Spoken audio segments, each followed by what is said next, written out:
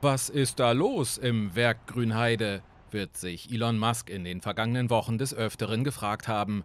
Bürgerbefragungen, besetzte Wälder, Anschläge auf die Stromversorgung.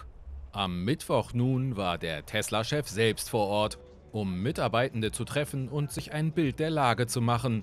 Empfangen wurde der Milliardär wie ein Rockstar.